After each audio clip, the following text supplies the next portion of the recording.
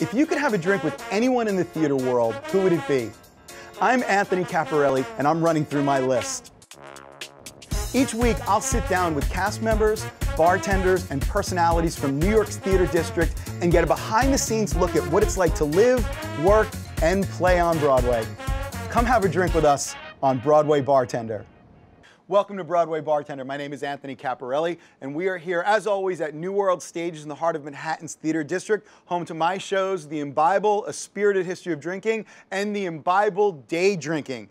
And today we are going to um, make a cocktail that is relevant to our special guests. It's called a Bronx cocktail, and if you don't know what show we're talking to today, then take two seconds and Google Broadway and Bronx while I make the drink. All right, we're gonna start with, um, as, as we usually do, a mixing tin, about halfway full of ice. And this is a variation on the Martini Manhattan family of drinks. Um, it's, it's closer to a martini in that it's got a gin base, but it does have sweet vermouth in it also. Um, so we're gonna do about two ounces of gin per drink, and I'm making four drinks because I have three guests.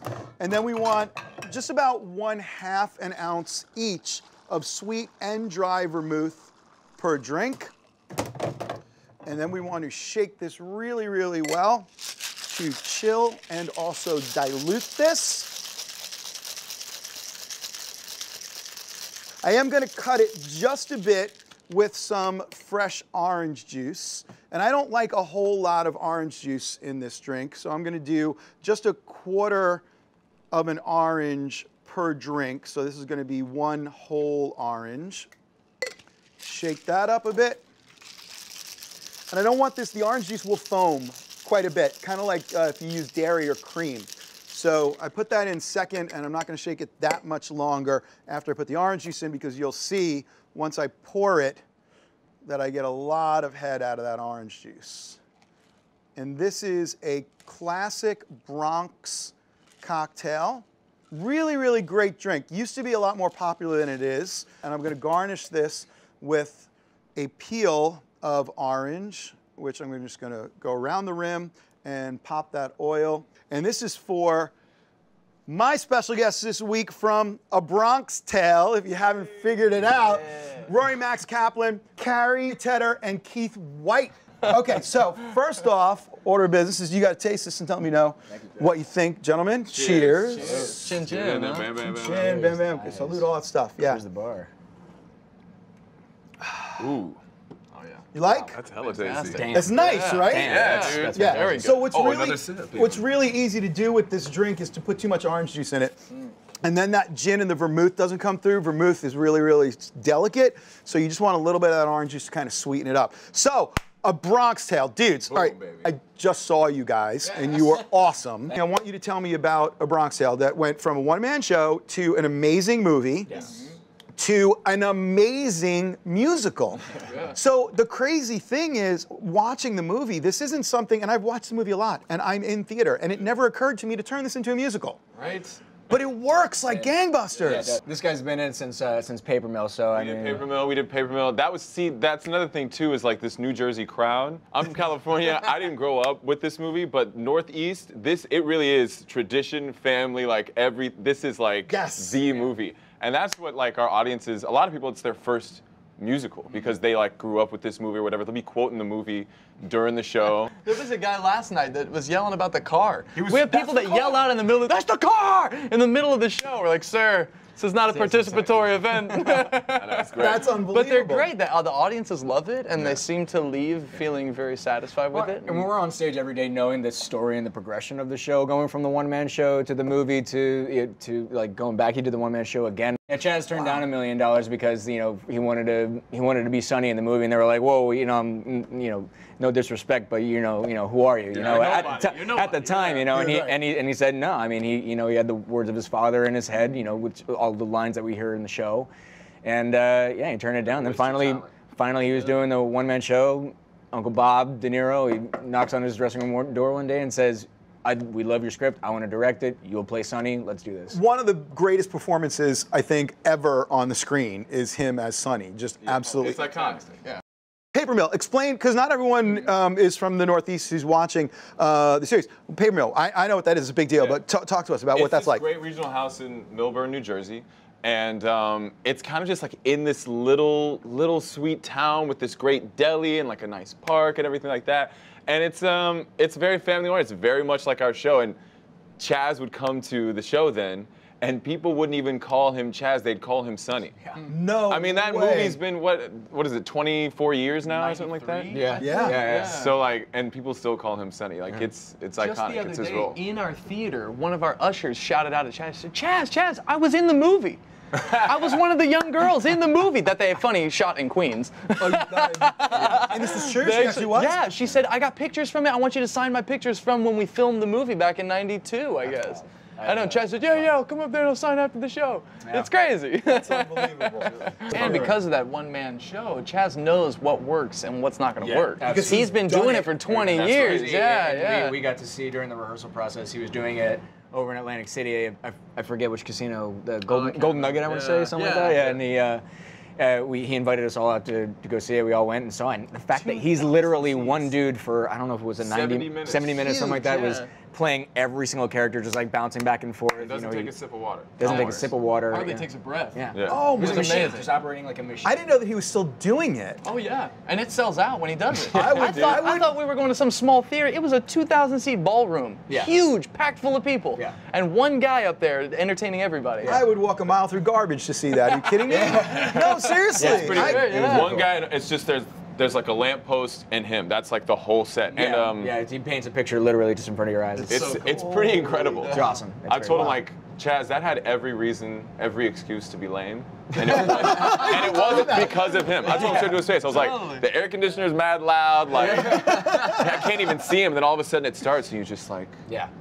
You know, you over. lean in. It's awesome. Oh and my it's cool Yeah. working for a person like a you know, someone who's a writer who's also still an actor. Right. So he knows sort of the ins and outs of what an actor has to do in order to tell the story, rather than someone who's just putting it on the page, going, "Do this, do this, Make do it work, this." make it yeah, work. make it That's work. right. Yeah, That's right. Wow, that's Yeah. incredible. Okay, so your role in the show. I'm slick. I'm the um, neighborhood racist. yeah, so friendly neighborhood racist. Seriously, yeah, very, Very Avenue Q right there. Yeah, right. Friendly neighborhood racist. Yeah, I play Slick as well as uh, doo-wop number four, the bass singer in the doo-wop group with these guys, and our other doo-wop brother, Dom Nolfi, who plays Crazy Mario. Yeah, yeah, who's Yeah, very yeah, funny. remember Please it. come see the. Yeah, yeah. the movie and from the show. Yeah. Explain those Mario tests. Crazy, yeah. Quite like the funny test. It's his own. Just there's a hand. and but- yeah. Dude, okay, so, and I actually play six small parts in the Okay. show. So I have just a lot of costume changes. I play um, Lorenzo, the young Lorenzo who plays the saxophone. Yeah. Uh, I play one of the wise guys in the crap but game. you're up on the fire escape. Yeah, Oh, yeah. that's cool. Uh, I play, uh, you know, one of the doo-wops in the group with these guys. I play neighborhood guy Yo, in a couple who's scenes. The guy, who's our favorite? And then uh, who? Louis Beans, yo, I play Louis Beans. They, I had a line and they cut it. Yeah. But there's a scene where I just walk across stage and says, Louis Beans, where's my twenty dollars? All I have to do is run off stage. That's it. That's it. It's very easy. Okay. And then I played the uh, one of the killers. So I, s- yeah, yeah, yeah, yeah. I get in a nice shark skin suit. They slap a mustache on me, and Yep. I'm a killer. you know? Get mad, The first time I've ever fired a gun on stage. So Yeah. it's kind of Really? crazy. Yeah. Thrilling. It actually. is. Kinda It's like, pretty "Pop." wild. Yeah.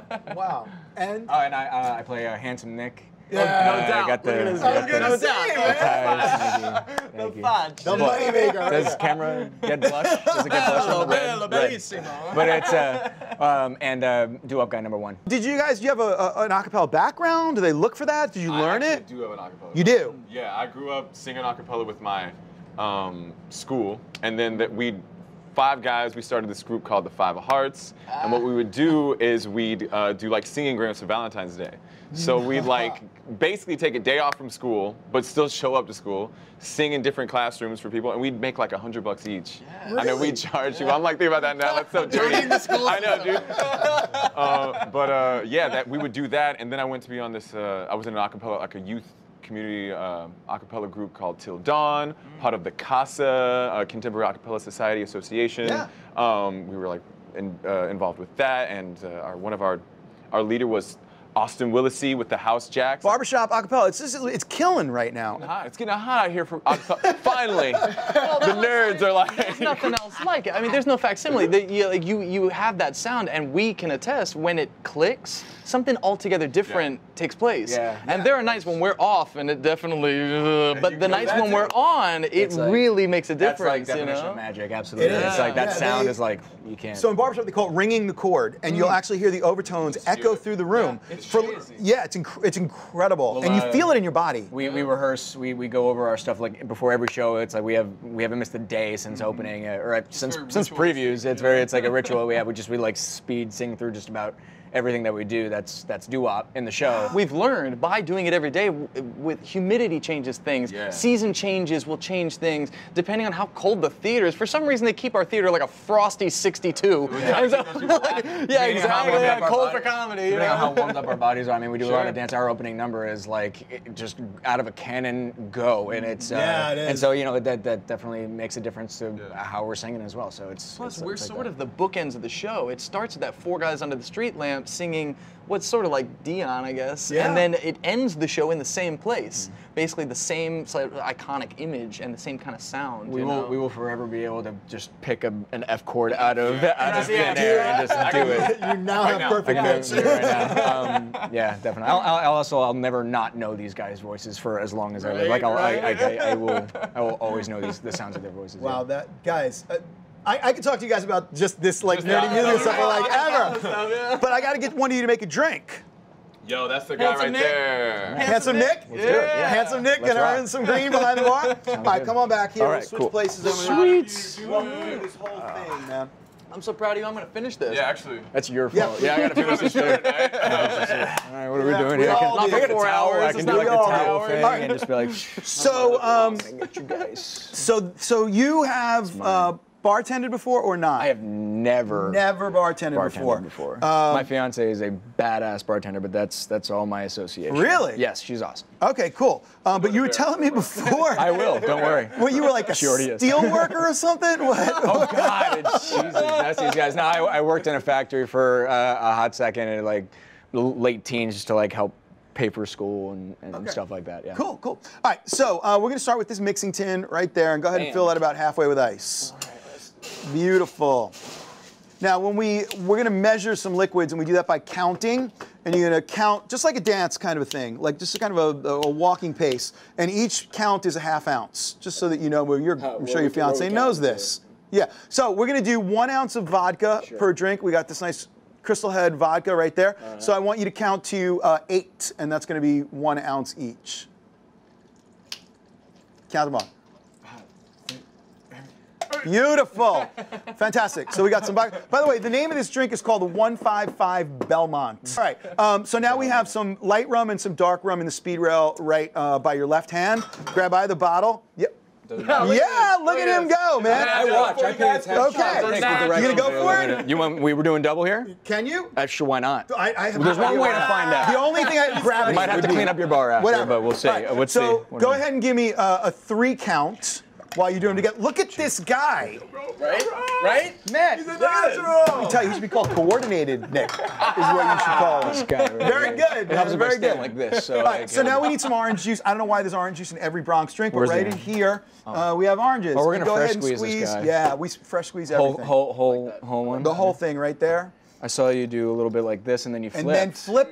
I saw. Definitely pay I saw you do that. Maybe he should be called observant Nick. Mm. You got all. All right. So and then one more. I got a whole bunch. Observant, Smart coordinated coordinated Nick. observant Nick. There's a ring to that. Yeah. Yeah. You're doing the, the whole, thing. The whole yeah, thing, yeah, Bam, the whole thing. doing it. Great, There's, great, there's four guys here. Yeah. Fabulous. Yo, got- before when you were doing this, by the way, it was pretty mesmerizing. Yeah, I was You gonna like say that? you, you were doing, way you were doing some top light caught that I will break all your cameras if I try doing It some crazy juggling act. All right, so now you got a clean mixing glass right there. Bam. Yeah, put it right in there.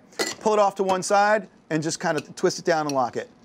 I think Yeah, it's locked. good, good. One hand on the bottom of the tin, Bam. one hand on top of the glass, step are. Off the bar. You're gonna shake, you're gonna push from the shoulder of your top hand to the foot of your bottom hand. Boom, boom, boom. Good. boom, boom. Hey. Keep that face. Yeah. Very nice, man. Are we gonna zoom in on this? Are we gonna zoom on this guy? Look at those guns. Put the guns away. I love it. okay, so go ahead and uh, take that glass off the tin. Oh yeah. There you go. There you go. Beautiful. Bam. Um, strainer on top of the tin.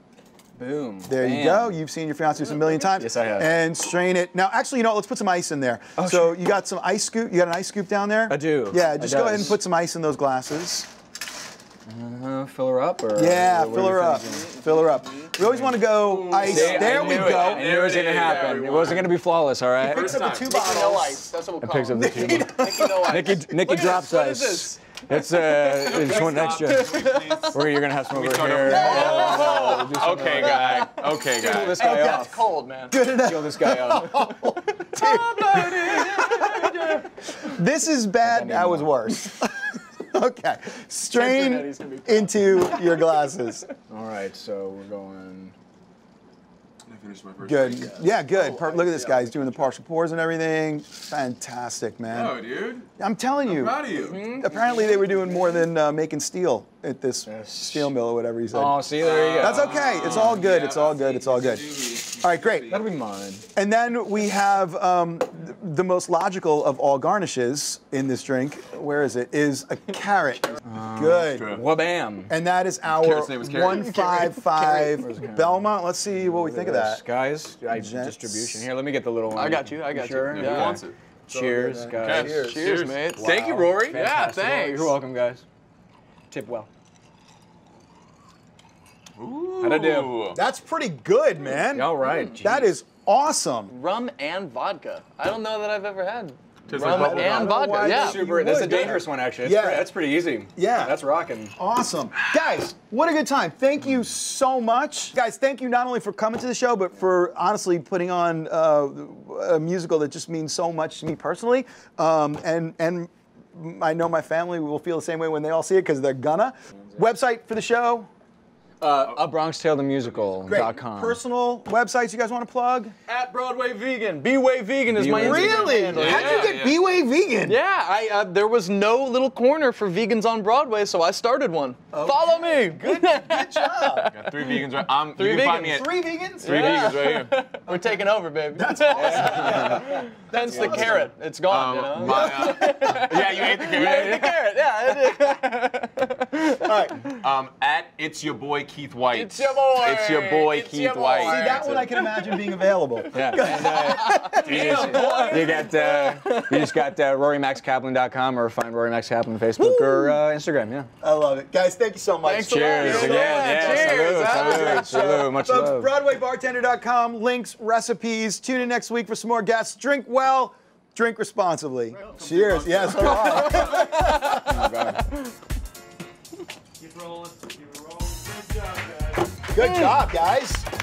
So much fun, man. Really nice work. So much fun. It was fun. now Oh, we're we gonna weren't do, too uh, loud. Just a lot of clapping and shit. No. Well, we got a sound guy. Sound guys like, Exactly. Me. Shit out. He's like, ow. All right, so we're gonna jump behind the bar. We're gonna take some pictures. Oh, great. Let's Grab a do drink, whatever drink you want. All right, all right.